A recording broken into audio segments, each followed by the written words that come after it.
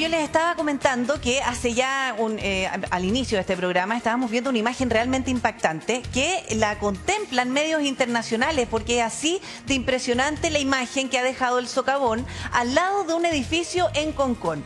Miren, ahí está la imagen aérea, también vamos a ir revisando eh, cómo se ve desde el costado porque resulta que así como si aquí aplicamos la ley de gravedad uno tiende a pensar que esto se puede venir abajo en cualquier minuto, Cristian.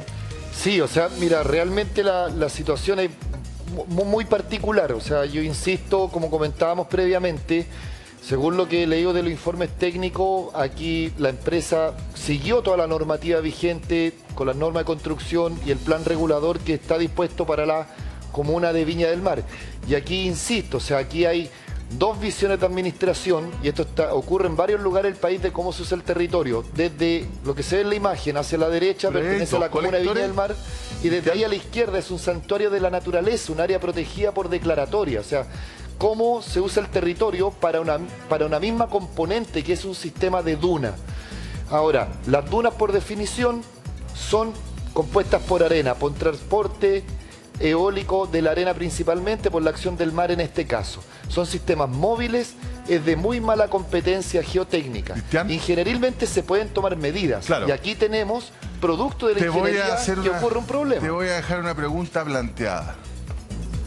¿Qué hay que hacer con ese edificio y con ese, con ese terreno? Pero antes vamos a escuchar a la alcaldesa Ripamonti que está con Rose, Rose Rowe. Hola, Rose. Eso es necesidad de que sea malo. Así es, estamos con la alcaldesa Macarena Ripamonti, que estamos justo acá, acá en la avenida Borgoño, por el sector de Concón, y la vamos a escuchar a continuación de lo que está comentando respecto a lo que pasa justamente con este edificio no aquí ni a propósito de esto. Lo he dicho con anterioridad, lo he dicho como ciudadana común y corriente antes de ser alcaldesa, lo he representado en más de 11 órdenes de servicio y he hablado también a través de mis calificaciones como autoridad y jefa superior del servicio. Y eso me ha traído una serie de dificultades, pero que estoy dispuesta eh, a seguir avanzando porque yo como Viña Marina y todos los viñamarinos de Viña del Mar sabemos los problemas que existen. Alcaldesa, estamos en vivo para tu día. Cuéntanos qué es lo que debiera pasar acá con este edificio. De que está en malas condiciones probablemente, sabe, no sabemos qué es lo que va a pasar, si se va a demoler, si se va a arreglar, va, a haber un plan de contingencia para arreglar este socavón. Ya, eh, hay que separar las cosas. Uno es el problema que ha existido con eh, el colapso de una infraestructura hidráulica, que es el colector, el colector Riñaca Norte, y otra cosa es la edificación de un edificio privado. Eh, las estivaciones, los términos estructurales, todo eso tiene que ser analizado y ahí quienes son los ingenieros civiles y obviamente un análisis eh, mucho más contundente va a poder determinar que el edificio es, eh, tiene una sustentación por sí sola. Eso al margen de que la obra hidráulica que colapsó bordea la calzada de acceso al edificio. Por lo tanto, el edificio eh, hay que determinar si tiene problemas estructurales o no. Sin embargo, el edificio de todas maneras corre el riesgo porque la calzada es por donde pasa, digamos, todavía parte de este colector Riñaca Norte. Por lo tanto, el riesgo inminentemente que se corre es que la, calzada pueda colapsar y, no se tenga acceso al edificio. En ese sentido, la alcaldesa se podría seguir construyendo entonces edificios acá porque sabemos que hubo polémica durante mucho tiempo por la construcción, sobre todo cercano a las dunas. Como ciudadanos viñamarinos sufrimos mucho por ese plan regulador del 2022, perdón, del 2002 son 20 años, más de 20 modificaciones y vimos como poco a poco eh, se iba generando un detrimento no solamente en las dunas, sino en espacios estratégicos y ecosistemas muy frágiles en la comuna de Viña del Mar cambiado, se va a cambiar? Estamos en, estamos en el proceso, nosotros declaramos como compromiso público, está dentro de nuestro programa y iniciamos el proceso del 2021 con la reactualización. El año 2018 comenzó un proceso, nosotros tomamos todo lo que se había avanzado y hemos iniciado primero que todo un proceso participativo y en segundo lugar alianzas con Centro de Investigación para la Gestión de Riesgo y Desastres, con el Centro de Acción Climática de la Universidad de la Pontificia Católica de la Universidad de Valparaíso para eh, hacer estudios fundados de riesgo y avanzar en un instrumento de planificación que permita el desarrollo de una, ciudad sostenible. Dos cosas. En ese mismo sentido, este edificio tiene el permiso correspondiente cuando se edificó y eh, hay otras solicitudes para edificar en la zona de dunas en Viña del Mar particularmente. Respecto a ello, lo siguiente, nosotros en las primeras horas evacuamos un oficio a la Ceremimimbu para que ella se pueda pronunciar como autoridad jerárquica en, en términos técnicos del DOM para que haga un análisis, una suerte de auditoría, por decirlo de algún modo, en que pueda inspeccionar si los permisos girados en, en este entorno se ajustan a derecho y obviamente si tienen pertinencia técnica. Y eso lo estamos trabajando de manera conjunta. Alcaldesa, ¿qué le podemos decir a los vecinos por mientras? No los puedo escuchar a... Estamos en vivo nosotros. ¿Qué le podemos decir a los vecinos por mientras? ¿Puede Bueno. terminar de responder la pregunta que, que, que concluyó esa alcaldesa, por favor? Dígame cuál era la, la otra pregunta. El oficio del DOM, que es importante también. Ah, y el, efi- y el oficio del DOM. En segundo lugar, lo que nosotros instruimos internamente al municipio es que el director de obras tiene que, en el más breve plazo posible, tomar a su equipo técnico y tener que emitir una certificación respecto de la habitabilidad o inhabitabilidad del departamento. Y usted me pregunta, Por lo disculpe. tanto, ¿qué le podemos decir a los vecinos mientras tanto? Porque Perfecto. sabemos que no pueden habitar eh, este edificio. Exactamente. Primero, tenemos que regirnos bajo un principio precautorio. Eso supone siempre cuidar eh, el riesgo de vida de los vecinos y vecinas.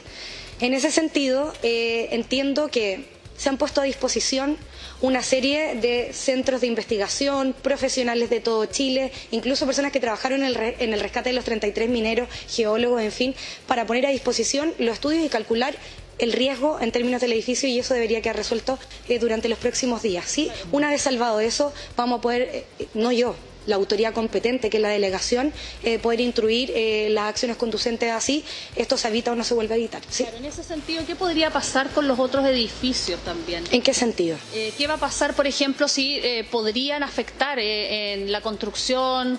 eh, ¿Se van a revisar los otros?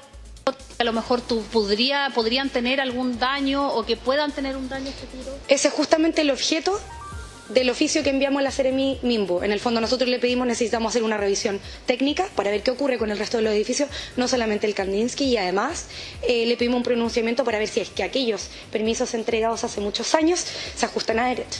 Hay nuevas Bueno, me imagino para que esa ruta ya se perdió. Discúlpeme, de verdad no Esa puedo- ruta se perdió, alcaldesa, probablemente con los arreglos. ¿Cuánto podría costar? Porque sabemos que ustedes al al principio habían llamado a una licitación express. Nosotros no, porque nosotros no tenemos nada que ver con el socavón ni la mantención, ni ejecución, eh, ni trabajo competente respecto de eh, redes primarias de aguas lluvias. Eso corresponde al MOP. El MOP fue el que en un principio levantó una, un presupuesto para una obra de mitigación. Y hoy día entiendo que eso ha cambiado y se va a hacer una obra eh, para abordar todo lo que ha ocurrido y eso son miles de millones de pesos. independientemente de la responsabilidad, usted había mencionado que el Estado es el responsable de los daños que quedaron. Cuando yo me refiero al Estado de Chile, me refiero a esta organización en la que es usted, en la que soy yo, en la que eres tú, eh, en la que somos todos para organizar la vida y sostener instituciones públicas, ¿sí? Eh, a pues, eso es lo que me refiero. Y hoy día No. la gran cartera del Ministerio de Obras Públicas eh, va a tener que responder lamentablemente por, por obras que se hicieron en el 2005 y en la ampliación del ramal del 2017 eventualmente. Nosotros tenemos que funcionar como Estado, independiente de contra quién repitamos en responsabilidades, hoy día como instituciones públicas, incluso yo como municipio, que nada tenemos que ver, tenemos que estar ahí para poder salir adelante y ocupar esta catástrofe también como una oportunidad y aprender. Ok, muchísimas gracias, alcaldesa. vaya. Bueno, ahí estábamos Ya. entonces con la alcaldesa Macarena Ripamonti, justamente que nos estaba informando qué es lo que va a pasar con este edificio, los estudios que se esperan justamente, y nosotros nos mantenemos acá en la avenida Borgoño, que ustedes pueden ver que está cortado totalmente, no hay acceso para nada. Así es como quedó esto. Sabemos que hay eh, personal municipal y también eh, hay eh, carabineros, hay negocios, hay hoteles acá que está, no pueden funcionar porque está justamente cortada la pasada y no pueden pasar ni siquiera caminando las personas. Así que hacemos el llamado también para que no vengan ni siquiera a mirar porque no se puede entrar. Así es que ese es el llamado que hacemos para todas las personas que viven cerca o que quieran venir acá a este sector de Concón o Viña del Mar por el otro lado de la avenida Borgoño. Solamente aclarar que me, da la sensación de como que la alcaldesa tiró un poquito para las moras porque dijo, eh, me refiero al Estado, en eso que eres tú, que soy yo, que somos todos, que hemos fallado. En este- No, el Estado no somos Sí. todos. El Estado son gente de carne y hueso que trabaja en, en la repartición del Estado. Hay gente que firma, ¿Tú eres Estado? que pone su nombre. ¿Tú eres Gente que- Estado? ¿Tú trabajas para el Estado? No. ¿Tú trabajas para el Estado? ¿Tú trabajas para el Estado? No. Yo tampoco trabajo para el Estado. Entonces nosotros no somos Estado. Nosotros le, le pasamos plata al Estado para que haga las cosas que tiene que hacer. Le pasamos otra plata al cosa- Estado y, pa- y en el Estado también hay una administración, que Claro, es se el supone que gobierno es de una licitación Claro. del Ministerio de Obras Públicas. Exacto. Sí, que Entonces, no, es que no, no para, que, para que no nos echen la culpa a nosotros de esas cuestiones, pues si aquí que... Es que tanto que nos gusta hablar de instituciones, del Estado, de no sé qué, que no están. si hay responsables con nombres y apellidos. Eh, Nosotros somos una nación que le entregamos una- un, un mandato a cierta gente para Sí. que administre el Estado. Eh, Cristian, te dejé una pregunta planteada respecto de este edificio. ¿Qué vamos a hacer con él? No, ¿Qué debería pasar? Un comentario chico, me impresionó que va a costar miles de millones de pesos para el MOP. De repente mandar a Gualañía, Alicantén también no... ¿Cierto? Mejor. Mejor aún. Sí. Toda la razón. Bueno, mira, de hecho la, la- la alcaldesa en varios puntos dio varios puntos técnicos que, que sí, tiene, tiene bastante razón y es lo más recomendable. De hecho, estuve tomando nota también. Lamentablemente la, la burocracia, la administración te, te va a dilatar. Esto va a tomar tiempo, mucho tiempo. De hecho, hoy día la zona de exclusión, que no se pueden acercar, etcétera. Y claro, primero, de hecho, el Estado tiene sus instituciones estatales, valga la redundancia, o sea, hoy día en primera instancia ahí debería se- eh, no es que la institución no vaya, tiene que ser mandatado por quien corresponda. Entonces, en primera instancia, ahí debería estar Geomin, la unidad de peligro y riesgo geológico, evaluando. Y eso técnicamente se llama una línea base de peligro y riesgo geológico. Es lo primero que se tiene que hacer. De hecho, un pequeño paréntesis. Ya, que sí, la obra hidráulica tuvo o no tuvo culpa, etcétera, ya. Igual Tuvo o no tuvo culpa, me da lo mismo, eso. me da lo mismo. Ya. El tema es que si es culpable esta obra hidráulica, dejó expuesto lo frágil y vulnerable que es donde se construyó. Claro. Y ahí hago una pregunta de sentido común. Si esto hubiera sido en roca y hubiera existido una filtración, ¿habría ocurrido el socavón? No. No. No. Listo. Entonces aquí quedó expuesta la vulnerabilidad que ante al menor problema, o lo- la- los colectores de agua lluvia se rompen. ¿Cuántas veces andamos por la calle? Una Sí, matriz de agua se rompe, etcétera. Pero Entonces, este, este- este- Ahí estamos claros, ahí quedó expuesta la, Claro, la vulnerabilidad. la claro, por otro lado, sí, aquí mira, hay dos componentes fuertes. Uno, el entorno, dónde está emplazado. Mi recomendación es hacer el estudio de, de línea base de peligro y riesgo geológico, evaluar si es una zona alta o baja vulnerable. Después viene el estudio estructural, que los ingenieros principalmente lo hacen, o sea, lo hacen ellos en realidad, para ver si ha sufrido daño o no. Lo otro, que digamos es como los pasos a seguir, independiente eh, eh, en, en la problemática, se evalúan medidas de mitigación. Y en este caso la alcaldesa lo dice, esos son miles de, la cito a ella, miles de millones de pesos. O sea, cuando hay un problema se pueden hacer medidas de mitigación y se evalúa también cuánto costaría. De hecho, aquí medidas de mitigación, ¿qué es lo que se hace en otros casos? Cuando es roca sólida, roca, roca, pernos de anclaje, son pernos literalmente de 10, de 20 metros, para cuando la roca está muy fracturada para darle mejor competencia. Se, se ancla una roca con otra. Y también vienen mallas contenedoras, lechadas de chocret que te da mayor contención. Eso se usa mucho en la tunelería minera, por Ya, pero aquí se ejemplo. nota que no pusieron nada porque No, está no, no, como en te- el claro, aire. como medida de mitigación, ¿cómo se podría arreglar el queso que hay hoy día? O sea, de hecho, la misma construcción de metro, línea 7, se está construyendo hoy día a 30 metros de profundidad y están trabajando con hormigón armado, están trabajando, bueno, ese hormigón armado Sí, que es fierro con, con cemento. Entonces, sí se puede, claro, pero el metro es una inversión para el beneficio de los chilenos. Acá miles de millones de pesos, o sea, yo te digo, sería... No, eh, le doy, le doy, le doy vuelta en, mi cabeza por mensajería. Estamos comentando con colegas, no conocemos otro antecedente igual. Ya, Pero- o sea, es, mira, es lamentable. O sea, aquí una medida de mitigación, lo dijo la alcaldesa, es multimillonaria. Entonces, tres pasos resumiendo, Sí. evaluación de peligro y riesgo, evaluación estructural, si el edificio en qué condición está, y vendrían las medidas de mitigación. Y esto va a tomar meses o tal vez más de un año. Ahora, si hablamos de tanta Sale inversión, más barato hacer un edificio nuevo al otro lado y trasladar a los vecinos. ¿o trasladamos de ahí el colector?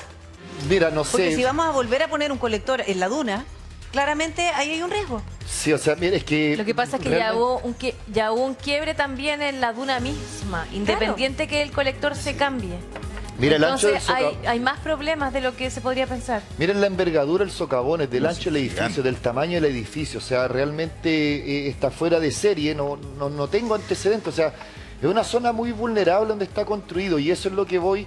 Estoy de acuerdo con varias frases que, que- que cita la, la alcaldesa. O sea, aquí hay que cambiar la visión, hay, que, hay un antes y un después de cómo utilizar el territorio. Y, y el Estado tiene los organismos, tienen que ser mandatados por los ministerios correspondientes para ir a hacer los estudios. O sea, lo- los tres estudios principales que he mencionado lo pueden hacer las oficinas técnicas de instituciones estatales que pertenecen a diferentes ministerios, comenzando por ahí. O sea, eso sería el primer, la primera medida de acción.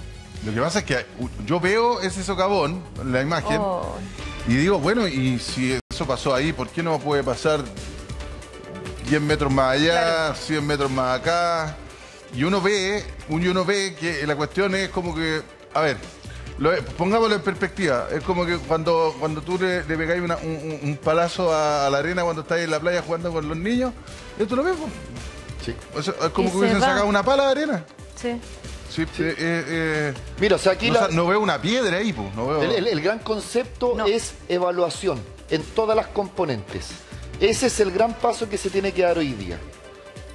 Pero mira, El Cristian, problema cuando- es que ese, ese periodo es tan largo que, que quienes viven ahí es terrible porque ¿cuántos van a pasar meses? No, hay una Bien. incertidumbre enorme. Sobre todo porque primero no saben qué, qué puede pasar o si se va a ver afectado el edificio. Yo me imagino que tiene que ver con la evaluación que haga, por ejemplo, también el director de obra del municipio, como decía la alcaldesa.